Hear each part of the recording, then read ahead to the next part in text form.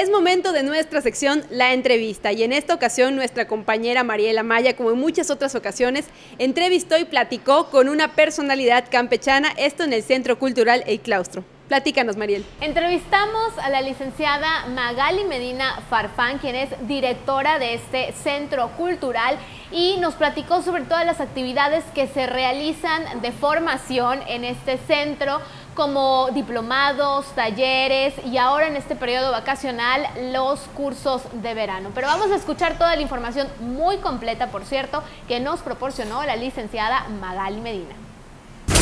Bienvenidos a la entrevista, mi nombre es Mariel Amaya, en esta ocasión para Yo Soy Campeche y para todos ustedes también se encuentra con nosotros la licenciada Magali Medina Farfán, quien es directora del Centro Cultural El Claustro. Y precisamente desde aquí vamos a comenzar con esta amena plática. Muy buenas tardes. Buenas tardes, eh, Mariel. Bienvenida, licenciada. Gracias, bienvenida a ustedes aquí al Claustro.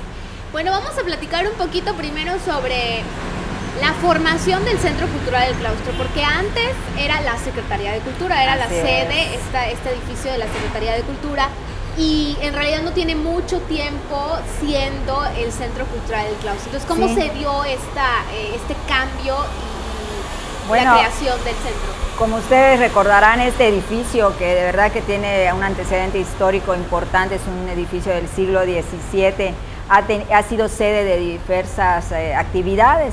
En un inicio fue sede del Instituto de Cultura y así lo conocía mucha gente y hasta ahora mucha gente lo identifica como la, el Instituto de Cultura, la Casa de Cultura. ¿no?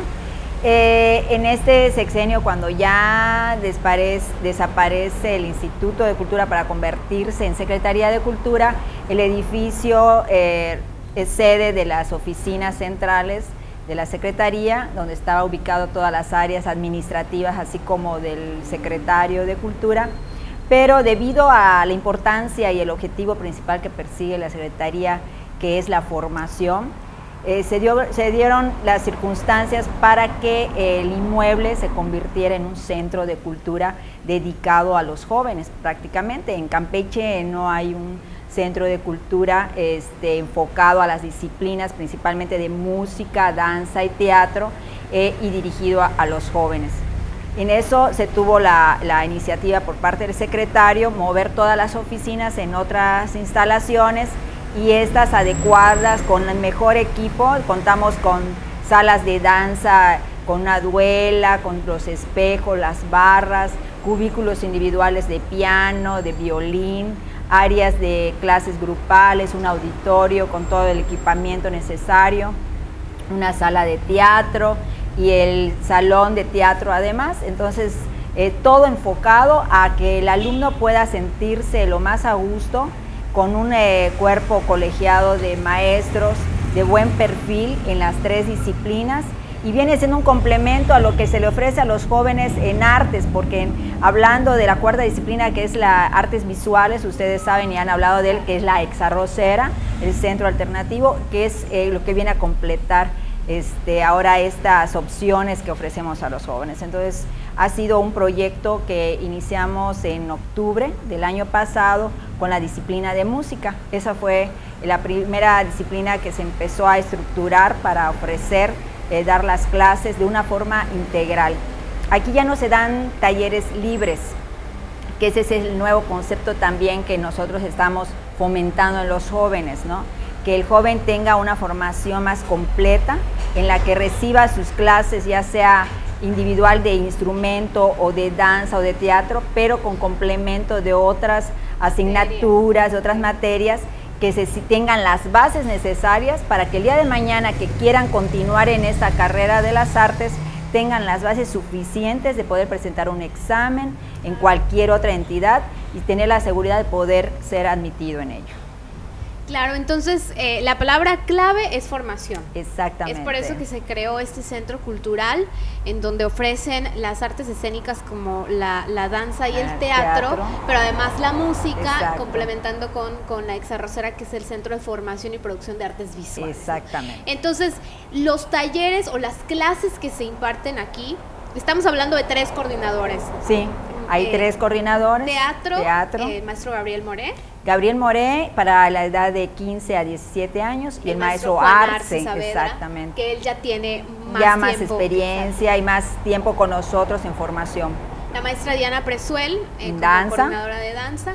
Y, la maestra Naid de León, que es la de música. La coordinadora de, música. Perfecto. Eh, licenciada, muy rápidamente, antes de finalizar, no quiero que termine la entrevista sin tocar ese tema. Eh, a la par, además de estos, de estos eh, cursos que se llevan, que podrían ser como una carrera técnica, pues son tres años, hay el, Centro Cultural del Caso también es sede de talleres, de cursos, de diplomados. Entonces, un poquito si nos puede hablar al respecto para eh, que la gente también sepa que aquí es un lugar donde puede tomar ese tipo de, de capacitación. Sí, mira, como iniciamos la entrevista, la Secretaría de Cultura apuesta mucho por la formación y siempre está buscando los mecanismos y los vínculos con otras instituciones. En el caso de, de Conaculta, que tenemos el 100% de apoyo, este, siempre estamos generando diplomados, seminarios, talleres individuales en el área de formación, en cualquiera de las disciplinas. Y estos talleres están, claro, están primordialmente dirigidos a los alumnos de aquí, pero también es al público en general. Se dan las invitaciones a través de las redes sociales y a través de ustedes, de que nos hacen el favor de difundirlo y que las inscripciones son gratuitas generalmente y también llevamos nuestros programas de preparación y capacitación a los maestros. Aquí es muy importante y, nada más que me permitas recalcar, los maestros eh, de cualquiera de las tres áreas son maestros capacitados con un perfil, eh, la mayoría de ellos de licenciatura, en el caso de música son los músicos de la Orquesta Sinfónica que han recibido capacitación y tienen nivel de licenciatura y en el caso de danza y como de teatro ni qué decir, ¿no? O sea, son personas que, que tanto de los coordinadores como los maestros estamos buscando que los perfiles sean los adecuados y lo más profesionales para los alumnos costos, Los costos son realmente cuotas de recuperación que son de 300 pesos la mensualidad por más de, estamos hablando de 7 horas a la semana, más de 7 horas y que realmente es para la formación de los alumnos. Para mayor información. Acudir a esta dirección que estamos ubicados aquí en la calle 12 entre las 59 y 51 o al teléfono 81 179 7792, ya se me está olvidando el número, o a las redes sociales que estamos este, en Face y en Twitter. Perfecto, muchísimas gracias eh, por su tiempo. Creo que eso es una información valiosa para todos aquellos que nos escuchan y que gusten de estas disciplinas. Acérquense a preguntar, por favor. Eh, ¿Alguna, ¿Alguna otra? Pues tenemos el curso de verano que estamos ya en esto, este, que está abierto al público en danza contemporánea en teatro, canto y guitarra. Son, en, el verano tratamos de ofertar eh, talleres que generalmente nos los solicitan durante el año. En el caso de canto y guitarra han sido uno de los más demandados, entonces si vemos la respuesta también se van a abrir para el ciclo escolar normal. El, los cursos de verano es, son edades. Sí, la edad igual, viene siendo la misma, a partir de los 12 años ya se pueden inscribir. Es un horario de dos horas diarias a partir del 21, de julio al, al 14 de agosto. Ok, perfecto. Eh, muchísimas gracias. A ustedes, a ustedes. Gracias por, toda la información brindada en esta entrevista. La licenciada Magali Medina Farzán, quien es directora del Centro Cultural El Claustro. Esto fue la entrevista para Yo Soy Campeche, pero quédese con nosotros porque hay muchísima más información.